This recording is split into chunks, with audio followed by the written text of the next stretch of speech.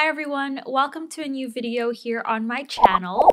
My name is Zyra and I post mainly art and drawing videos, so if you'd like to watch more, be sure to check out my channel and subscribe. First of all, I want to thank Fashionary and more specifically Vicky for sending these products to me so I can try them out. I'm so excited to be showing these to you on video here on YouTube. I received them a couple weeks ago, but I finally managed to edit the video and have it uploaded here. So, as some of you also might know, I am an affiliate of Fashionary, which is why I received this product.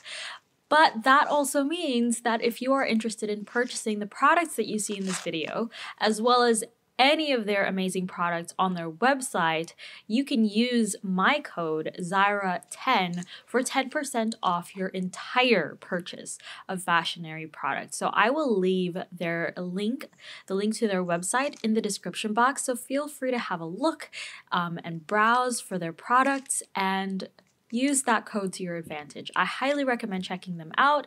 And now on to the unboxing. There are two products in this unboxing, and I'm going to start off with the memo pad. This retails for 14.19 US dollars on their website, and it comes with 360 removable pages. So it works like a memo pad. You can tear off the pages and basically use those pages anywhere that you want. These pages are 80 GSM cream colored paper, so it's got that yellowish tint to it, which I absolutely love.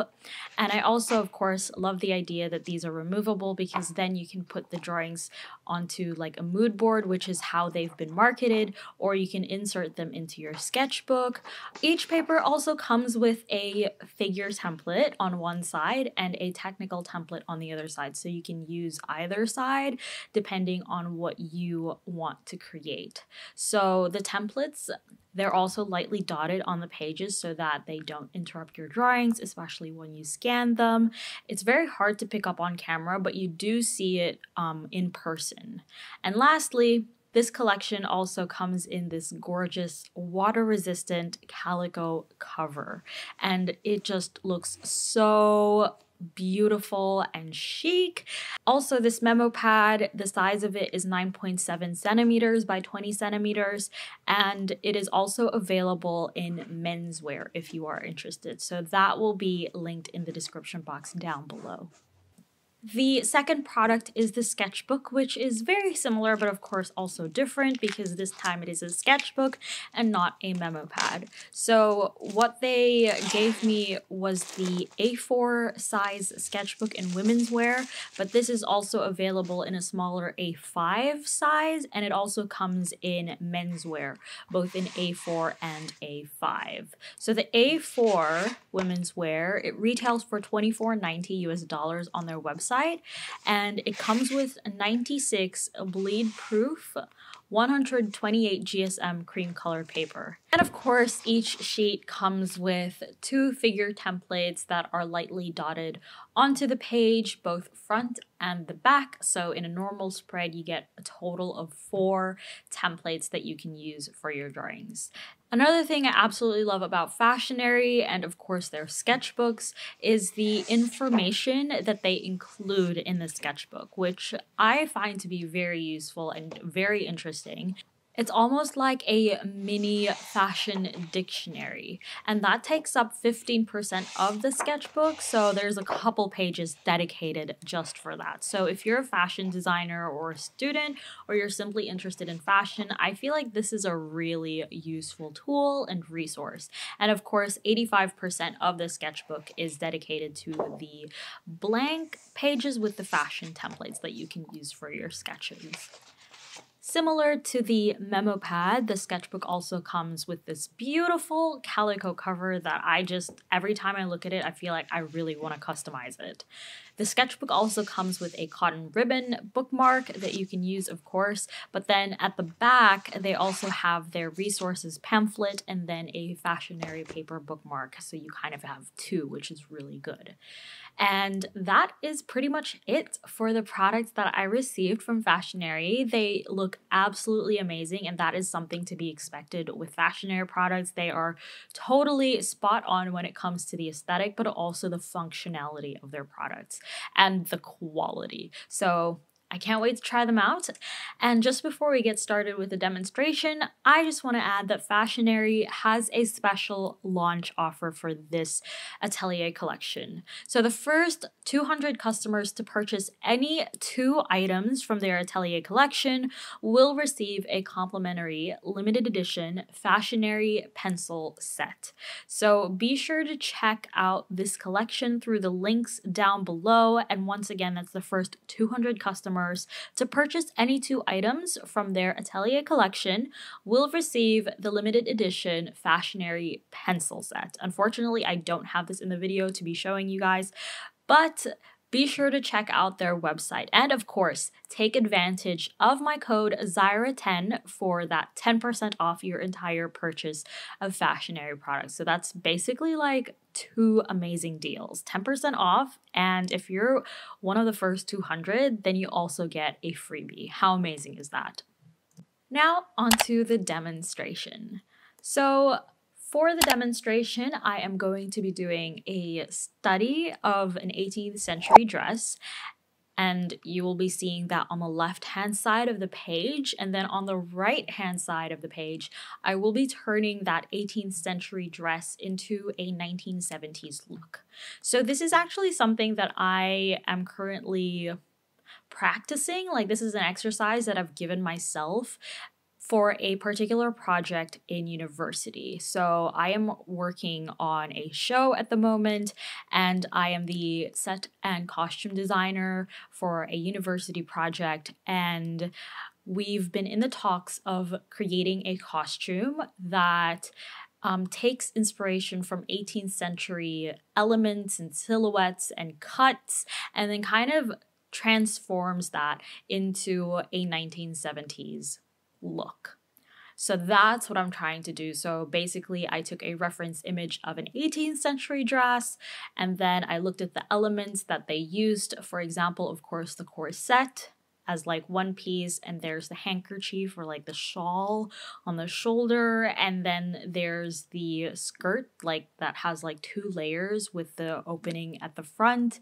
And I basically took those and found pieces that fit into the 1970s aesthetic and then kind of combined them together, styled them together to create a similar look. I hope that makes sense, but that was kind of just an exercise that I was doing for myself just to kind of practice and see what things we might be able to come up with with other silhouettes. So this is just like a trial version. I am also taking this time to practice how to draw clothing and creases in clothing, especially when it comes to coloring and shading, because that is something that I haven't really practiced in ages.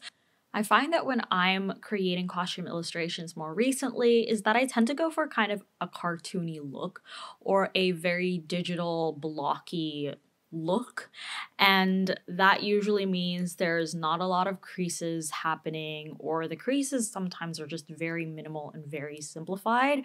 So I kind of wanted to practice creating um, creases on clothing that resembled um, what we actually see in real life. So something that was a little bit more semi realistic. And I just wanted to try that with these illustrations. So, in order to do that, of course, I used reference images both for the 18th century um, gown and I also sourced a bunch of reference images and kind of just meshed them together to create the, the um, look for the 1970s outfit.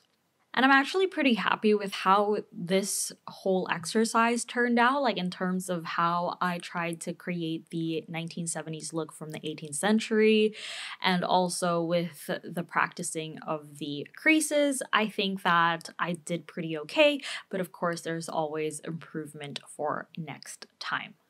As for the fashionary product, I absolutely love it.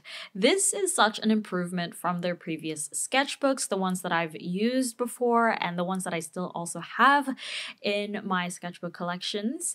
Um, I think the main difference, obviously, is the bleed proof paper. Like, just having that makes this whole experience amazing because on their website they really advertise that the bleed proof paper is perfect for markers and for watercolors these are typically the materials that are used in fashion illustration um, or costume illustration, but of course you can use other things as well. Like I used pencil for this one and I also used ink. So I mainly used watercolors and of course it didn't bleed, not at all. There wasn't even any kind of ghosting or any paper reaction aside from the buckling. Sometimes if I use watercolors and especially if I use too much watercolors on the back of the page, um, especially with the previous Fashionary sketchbook, you'd kind of see a little bit of the water like pooling. So that didn't happen with this sketchbook, which is really great. And I haven't tried it with markers yet, but I can already tell, even just from the paper texture and the thickness of it, that it will not bleed. I also used a black brush pen that typically bleeds as well. Sometimes if the paper's a little bit thick and it's not bleed proof, sometimes it'll ghost where you can still like see a hint of it on the back of the paper. But for this one, also did not happen, which is really, really amazing. So it's totally bleed proof um, based on my demonstration. The paper, like I said, it is quite thick, but it is definitely not thick that it is able to handle watercolors in the same way that watercolor paper would.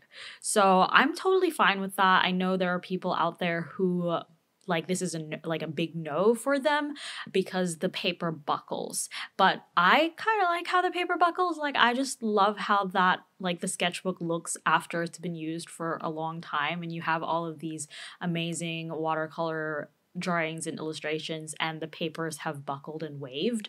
I personally like that, so I have absolutely no problem with this, but um, just be wary that if you are interested in this product, the paper will buckle if you use watercolors. It will not bleed, but it will buckle. So Similar to the previous fashionary sketchbooks, that's also happened, but because it is a little bit thicker, this um, new sketchbook, the buckling isn't actually as intense. So that's still an improvement for me. Another positive, of course, is that because it is bleed proof, then we are able to use all sides of the sketchbook and that's something that is also an improvement for me. I also really like the size of the fashion templates, which I did touch on a little bit in the beginning of this video. I really like the size of two templates together on a page rather than three smaller templates together on a page. I think two is just a little bit more up to my taste. There's still a lot of space in between, like on the top of the pages or even in the bottom of the pages, depends what you're creating or what you're drawing for any annotations or notes, or if you want to stick any photos or maybe even something from the memo pad onto the pages of the sketchbook, then I think there's still space for that. And yeah, I am just really, really happy with this product. I absolutely love it. It looks amazing and it also functions really well. So I'm so excited to keep using this. I think the only thing I would probably like that was in the previous sketchbook and isn't on this one is probably the back pocket. I sometimes like I'm not a big fan of the back pocket, but sometimes I do use it, so I kind of miss it that it's not there. But usually when it's there, I I don't really I'm not like super happy that oh, there's a back pocket. Like, oh my gosh, it's amazing. Sometimes I do use it, but like it's not the most important thing. But now that it's not there, I kind of miss it. So yeah. but that's pretty much it. Aside from that, I really, really recommend using the sketchbook and purchasing the sketchbook if you are someone like me who is very much interested in um, fashion or costume illustration, if you're studying um, a fashion design course or a costume design course, or if you just like to draw clothes on people, I think this would work really well too if you do a lot of character um, drawings because you can use a template um, and kind of change it up. Like you don't have to use a template as it is or on the pose as it is. You can kind of change it up as you go. But like I said, super impressed with this product and I highly, highly recommend it. I won't be doing a demo of the memo pad in this video, but stay tuned for a separate video on that. And if you want to see more fashionary videos on my channel, there will be a cards link in the top corner of this video, so feel free to check those out. And once again, Get in quick for that special launch offer where the first 200 customers to purchase any items from their Atelier collection will receive the complimentary limited edition Fashionary pencil set. And also, take advantage of using my code when purchasing those two items. My code is Zyra10 and that gives you 10% off your entire purchase of fashionary products. Whether you want to buy just two items from their Atelier collection to get into that free um, pencil set or you want to add some more items into there because I do recommend that you check out their website and their range of products. But with that said, I will end today's video. Once again, don't forget to click the links in the description box. Check out Fashionary. Please give this video a like and subscribe if you enjoyed it. Share this video as well to fellow artists, especially if you think they might be interested in this particular product or just Fashionary in general. And thank you so much for watching and I wish you the best of luck with your art journey, and I will see you in my next one.